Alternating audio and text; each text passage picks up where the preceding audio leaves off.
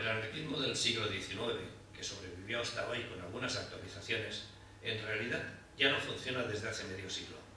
Sobrevive, por cierto, pero con crisis periódicas y con una tendencia inexorablemente descendiente. Esto transmite una mezcla de elementos anticuados, sobre todo estratégicos, pero no únicamente, y de elementos de gran actualidad, porque son universalmente válidos y por lo tanto siempre actuales. Tan válidos que, neutralizables en pequeñas proporciones, lo están saqueando todo a diestro y siniestro. Para salir del impasse habrá que inventar un anarquismo diferente, que conserve el núcleo duro del viejo. ¿Cuál es exactamente? Discutamos, pensémoslo seriamente. Porque sin este núcleo no hay anarquismo, ni nuevo ni viejo. Y si envolvemos este núcleo con una culpa de pensamiento y de acción flexible, adaptable, experimentable, discutible, absolutamente no dogmática, si inventamos así un anarquismo cambiante y multiforme en el cual se reconozca al militante pero también el poeta, que comprenda en sí la lucha pero también la vida, que refleje todo aquello que en el comportamiento individual y colectivo se mueve en sentido libertario y se refleje en él. La revolución no debe ser ni un mito ni una coartada. La gran transformación debe comenzar ahora mismo. Otro de los textos es el imaginario subversivo. La tesis del presente ensayo es que la utopía, en la mayoría de sus significados, representa una dimensión del hombre ineliminable y positiva, la dimensión de la esperanza, de la voluntad innovadora, de la creatividad, y más, en particular, que el anarquismo críticamente, pero sin complejos, tiene que explorar y desarrollar esta dimensión. Es verdad que concretamente solo vivimos aquí y ahora, pero también es verdad que somos animales culturales y que viviendo aquí y ahora, asimismo, vivimos a nivel simbólico en otra parte, ayer y mañana.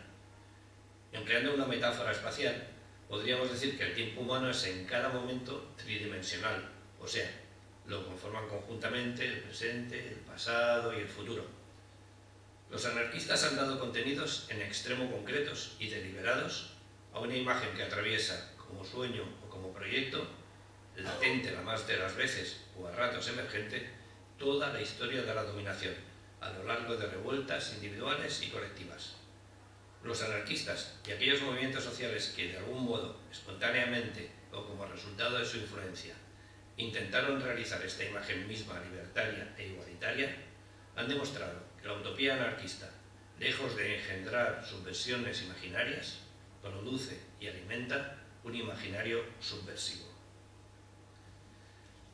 Otra parte es el texto denominado Más allá de la democracia, donde entramos en un momento en que ahora estamos llenos de elecciones, igual con cierta eh, proximidad a ello, pero bueno, la distancia del tiempo lo deja claro.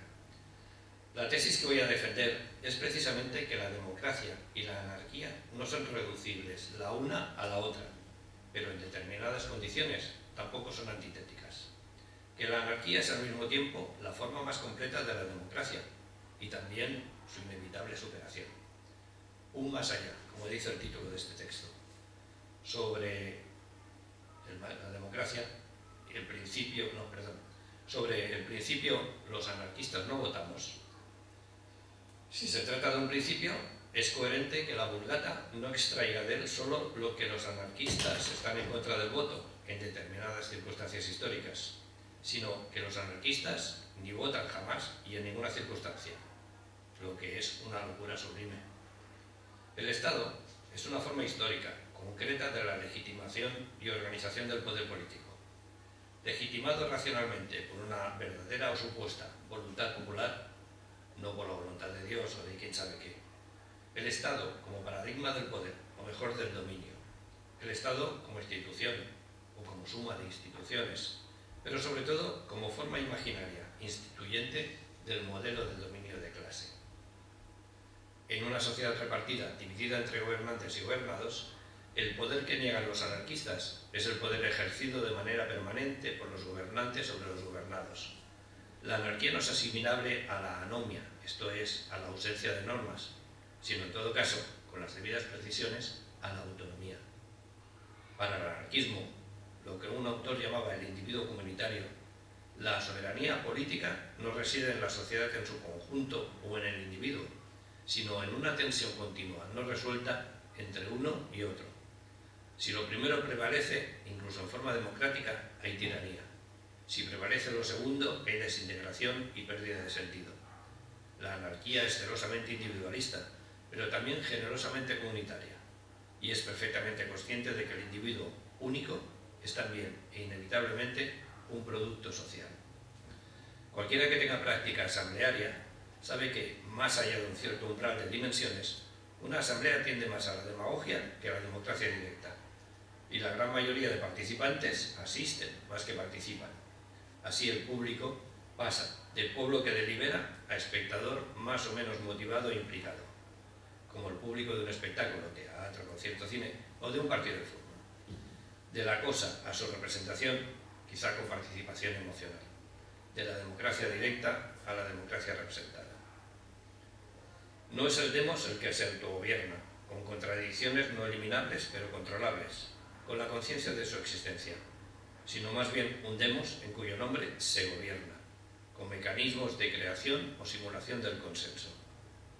No es posible una democracia libertaria, por utilizar un neologismo más o menos sinónimo de la anarquía posible, de la anarquía practicable, si también electos de la sociedad sus valores fundamentales no son también, o al menos parcialmente, coherentes con la democracia directa y con la autogestión, lo que equivale a decir con la igualdad, la libertad, la solidaridad, la diversidad entendida en sentido fuerte, en sentido fuerte. Eso es la anarquía, o algo así, como queríamos demostrar. Aquí concluí esta parte de lectura y Tomás ahora nos introducirá a la agitación de su propia cosecha con los anarquismos y con los planteamientos propios y, de media. Lo intentaremos. No, eh, creo que ya se va perfilando un poco, digamos, lo que es el, lo que era y lo que es el pensamiento de, de Amedeo. Yo uh, voy a volver a enlazar ahora un poco con lo que antes explicaba acerca de él. Por supuesto, a lo largo de esos más de 50 años que, que transcurrieron desde que nos conocimos, nuestra relación no fue continua. Hubieron periodos, y a veces largos, donde nos perdimos de vista. Sin embargo, nuestros caminos siempre acababan por cruzarse, por encontrarse. Y lo que nunca perdimos fue la proximidad entre nuestras concepciones de la anarquía y del anarquismo. Así que, después de lo que Ángel, digamos, nos ha comentado, voy a comentar, por mi parte, algunos aspectos que nos son comunes, que compartimos, porque entiendo que eso eh, entronca con la situación actual del anarquismo y con sus eventuales, sus posibles líneas de desarrollo. Entonces, al, comentar al principio ese anarquismo plural que figura en el título de la charla, los anarquismos y no el anarquismo, ya indicaba que uno de los puntos de coincidencia con Amedeo giraba en torno a la importancia que ambos otorgamos a lo que él calificaba como el anarquismo sumergido y que yo he denominado el anarquismo extramuros. Y quizá valga la pena, brevemente, pero contrastar aquí esas dos formulaciones y resaltar su complementariedad. La primera formulación, la del anarquismo sumergido, connota obviamente un aspecto de tipo cuantitativo, porque evoca claramente la figura de un iceberg, la imagen de un iceberg. Un iceberg cuya parte sumergida siempre supera enormemente el volumen de la parte visible. Ahora bien, en la medida en que es esa parte sumergida la que permite al iceberg mantenerse visible, está claro que las implicaciones de la imagen del iceberg van bastante más allá de lo meramente cuantitativo. En efecto, sin esa parte sumergida no existiría la parte visible, o lo que es lo mismo en este caso, no habría un movimiento anarquista sin esa base mucho más amplia, aunque oculta, que forma parte íntegramente de él. Sin connotaciones cuantitativas, la segunda formulación, del anarquismo extramuros evoca más bien la diferencia entre lo que está confinado dentro de un determinado recinto y lo que se ha expandido fuera de él o lo que se encuentra simplemente en su exterior. Si bien las dos expresiones coinciden en diferenciar dos grandes conjuntos en el seno del anarquismo contemporáneo, difieren sin embargo en cuanto al grado de imbricación entre esos dos conjuntos. En la primera formulación, la parte sumergida es un elemento constitutivo del propio iceberg, es una parte de él, y por lo tanto se entiende perfectamente que Amedeo nos diga que no está compuesta por personas más o menos simpatizantes, pero desorganizadas, sino que está formada por anarquistas tan genuinamente anarquistas como lo puedan serlo quienes se ubican en la parte visible del movimiento, pero sin adscripción a organizaciones o a colectivos anarquistas.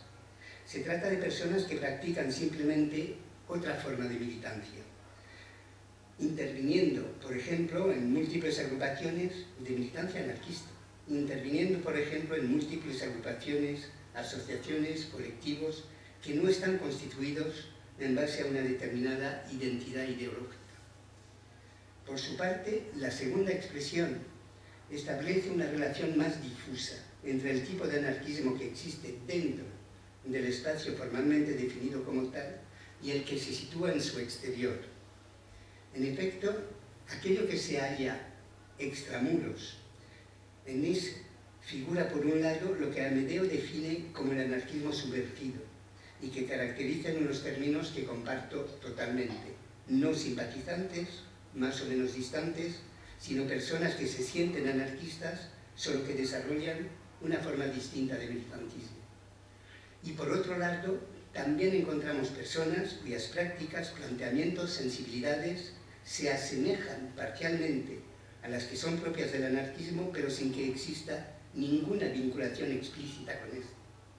En el extramuros hay por lo tanto una mezcla de anarquistas y de personas que no se reconocen para nada en esa etiqueta, pese a tener muchos puntos en común con quienes sí lo hacemos. Bien, si algo compartíamos Amedeo y yo con especial intensidad, esa era la convicción de que el anarquismo solo puede subsistir y revelarse útil si es capaz de renovarse en profundidad. De lo contrario, estará condenado a la más absoluta irrelevancia y a quedar, pues a quedar como una pieza más en el vetusto museo de las ideas y de las prácticas obsoletas. Para ilustrar esa común convicción, Amedeo recurría a la metáfora de la poda y el injerto, explicando que el viejo tronco del anarquismo debía ser enérgicamente podado para que pudieran brotar y desarrollarse nuevas ramas, ramas jóvenes, y para que ese tronco pudiera acoger nuevos injertos sin rechazarlos ni debilitarlos. Por mi parte, la metáfora es más bien la del ciclista, que se desequilibra tan pronto como deja de pedalear. Porque decir que el anarquismo es movimiento significa que lleva el cambio inscrito en sí mismo y que por lo tanto bloquear su modificación y detener su continua transformación es sencillamente esterilizarlo. Porque veamos, si el anarquismo se define como lo que se opone a la lógica de la dominación y como lo que se fragua en el seno de las luchas contra la dominación, es esa misma presencia en las luchas la que lo modifica necesariamente. Y la razón es bien simple.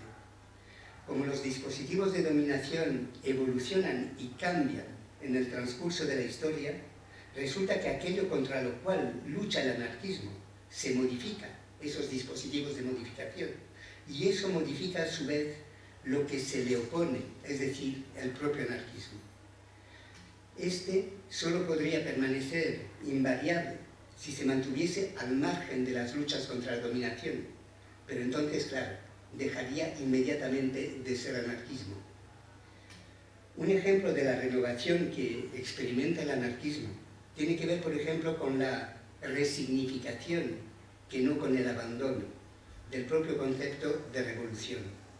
Esta ya no consiste en un evento que se sitúa en el futuro que nos espera al final del camino recorrido por las luchas, sino que se encuentra anclada en el presente, como una dimensión constitutiva de la propia acción subversiva. La, revolución acontece en el seno mismo de las luchas actuales y en las formas de vida radicalmente ajenas a los valores del sistema que éstas suscitan. La revolución se vive en la práctica de subvertir y de bloquear los dispositivos de dominación y de explotación. No se pospone a un futuro en el seno del cual, por pura definición, no estamos viviendo. Según Amedeo, el anarquismo tiene que concebir su revolución no como una insurrección, sino como una gran mutación cultural, donde el imaginario forjado y moldeado por miles y miles de años de dominación en casi todas las esferas de la vida humana, se vacíe de las huellas dejadas por esa dominación y se reconstruya a partir de coordenadas diametralmente opuestas. Amedeo abogaba, lo cito, por un anarquismo entendido como una gran transformación del imaginario social que niegue la dominación en todas sus formas, en todos los lugares culturales en los cuales se ha instalado desde hace milenios, desde las relaciones sexuales a las instituciones políticas, del lenguaje a la tecnología, de la economía a la familia, de los sentimientos a la racionalidad. Pero claro, no solo la cuestión de la revolución es la que debe ser repensada, sino también, por ejemplo, el tema del poder, porque, contradiciendo en parte los esquemas tradicionales del anarquismo, resulta que el poder es consustancial con la vida social y por lo tanto, más que obsesionarnos con su imposible eliminación, conviene saber descifrarlos para conseguir controlarlo y sobre todo para evitar y, combatir su conversión en dominación. Una conversión que Amedeo tipificaba como la apropiación, el secuestro del poder por una parte, generalmente más reducida, del colectivo social. Y que en una línea más Foucaultiana yo tipifico como la forma que toma el poder cuando cristaliza, cuando deja de circular de forma alternativa y reversible entre los elementos sociales, para pasar a ser unidireccional y quedar afincado las más de las veces en estructuras institucionales. Por otra parte, la renovación del anarquismo pasa también por articular una simbiosis, una interpenetración mucho más profunda entre los postulados anarquistas por una parte y por otra los colectivos humanos que constituyen en definitiva los destinatarios de las propuestas anarquistas. Recurriendo a la metáfora del alcohol, una sustancia que, si es pura, es imbebible, pero de la cual se pueden extraer deliciosos brebajes si se rebaja su graduación. Amedeo consideraba que la anarquía en estado puro es demasiado fuerte y que hay que presentarla en dosis de menor graduación capaces de producir efectos libertarios sin provocar un rechazo radical. Nos incitaba en consecuencia a explorar las condiciones de la anarquía posible, es decir, de aquellas propuestas y prácticas que pueden concretizarse en el seno de la sociedad actual pero sin perder su potencial subversivo. Se trata de actuar contra la sociedad actual, claro, pero en su seno, porque queremos ser ingobernables, por supuesto, pero no somos marcianos, ni marcianos. Por mi parte, enfatizo la indispensable apertura del anarquismo. Apertura hacia las propuestas de acción que provienen de fuera del ámbito anarquista, tanto más cuanto que es obvio que solas no podemos. Y que, como decía Medeo, lo vuelvo a citar, para seguir vivo el anarquismo ha de hacerse compatible con las diversas revueltas que atraviesan el cuerpo social. Propuestas de acción, claro, pero también propuestas teóricas, en procedencia del exterior, es decir, apertura al pensamiento crítico contemporáneo. El pensamiento anarquista debe ser sembrado sí o sí con semillas procedentes de otros semilleros, pero compatibles con él, y que no le hagan perder lo que, hace, lo que le hace ser anarquismo, y no otra cosa bien distinta. No cabe duda de que es urgente que el anarquismo se renueve profundamente, tanto en cuanto a sus teorías como a sus prácticas, puesto que tratándose de anarquismo, esos dos aspectos, la idea y la acción, están inseparablemente unidos. Pero ¿cómo conseguirlo? No existen algoritmos, programas, recetarios a los que poder acudir. Como decía Medeo, tan solo disponemos de brújulas, brújulas para dirigirnos y estas solo nos indican direcciones, rumbos, nunca un trayecto preciso. Carecemos de cartas de navegación y por lo tanto debemos navegar a vista, como también lo expresaba Amedeo.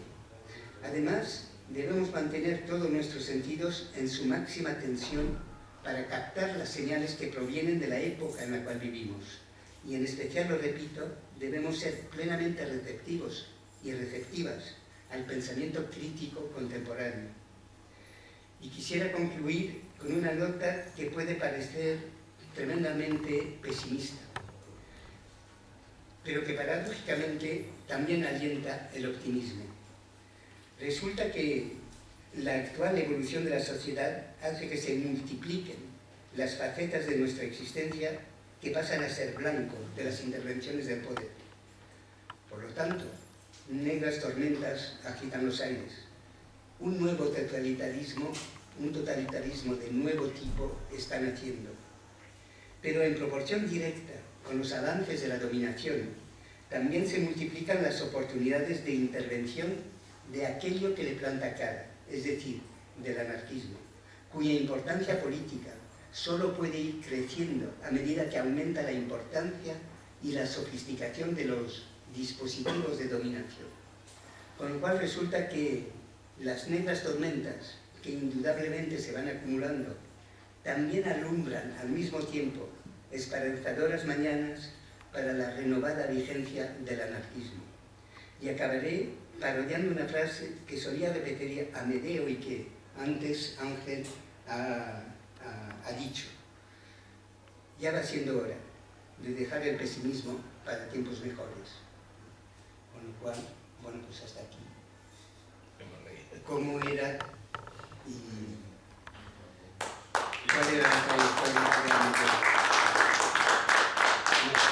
Gracias por la paciencia. Así os lo hemos contado. Ahora, bueno, dejamos el micrófono abierto para las dudas que os hayan podido surgir o ibas a decir. No, no. Igual habría, necesitaremos varios micrófonos. No, tenemos que reflexionar eso de dejar el pesimismo para públicos mayores, a ver cómo lo hacemos, pero algún día conseguiremos, no, no desfalleceremos, seguiremos intentando. A mí me sabe fatal que, bueno, yo creo que lo habéis dicho eh, muy bien, a mí me ha aportado muchas cosas y la mayoría de las que estoy de acuerdo, pero me parece, bueno, nefasto que estemos hoy los que estamos, pero tampoco nos vamos a arreglar ni nada, no nos va a arreglar. Son súper interesantes los, los desarrollos. No os quejéis, desde Málaga han venido a ver. Fíjate. Sea, ha faltado la gente de Buenos Aires. Ha faltado la gente de Bueno. Buenos Aires que están allá afuera. Partíamos, eh, Tomás parte de una ventaja doble porque se ha leído, aparte de conocerlos en profundidad, se los ha leído y ha escrito uno de ellos los dos libros. Yo me he leído completamente uno, el otro estoy en, las- en los principios, pero partíamos de una cierta ventaja en ese sentido sobre vosotros. Así que no sé si cabría aquello también de llevaros uno de cada uno, tenéis un año para leerlo y de aquí a un año os ponéis aquí vosotros, Tomás y yo allí, y nos explicáis los contenidos. No. del 12 de la sigla, ¿no? Cuando hablabas de los blancos y... Sí.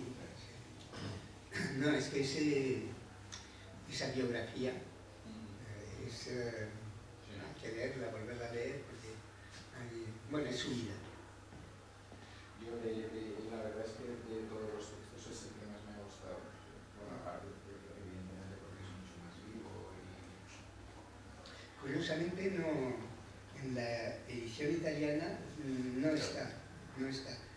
Bien es cierto que eh, meses después han sacado un, un folleto, un boletín donde, donde la reproducen y además con, con más materiales y bastantes fotos.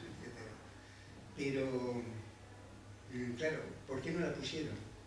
Porque entendían, sobre todo Rosela, su compañera, entendían que eh, violentaba un poco lo que era una característica de Amedeo, que era no querer ponerse, digamos, eh, de protagonista. Entonces, poner esa autobiografía en, la, en el libro parecía que no.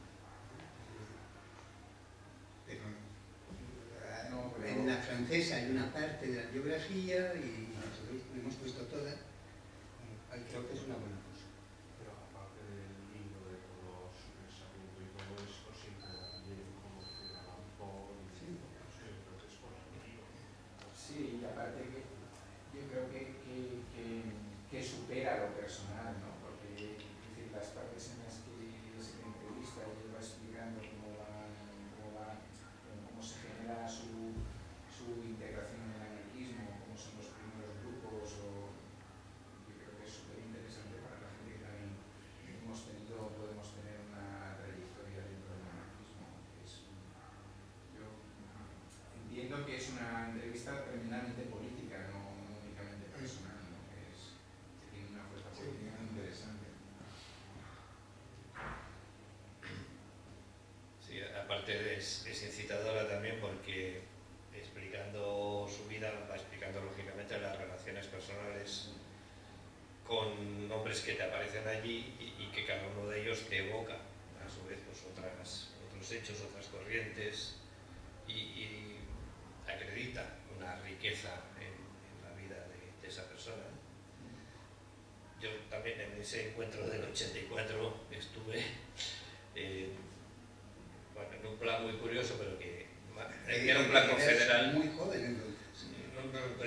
57, lo estaba contando antes, y ya no era tan joven, o sea, sí que era, sí que era un niño, pero en edad real tampoco, o ya eran, ya era un poquito, sí.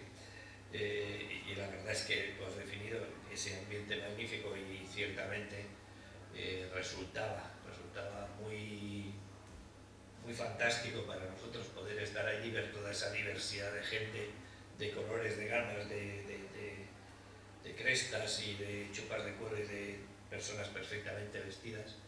Y resultaba interesantísimo las mesas que se realizaban con todas las ponencias que allí desarrollaban. Y una de las personas que yo entonces todavía no conocía, eh, que, sí destacaba, sin hacer nada, ciertamente, sin hacer nada así especial, ningún sobregesto ni ninguna sobreactuación, era, era Amedeo y su pipa, porque ya, ya entonces también estaba eternamente enganchado y, y te desprendía ¿no? Un- una cierta hora diferente.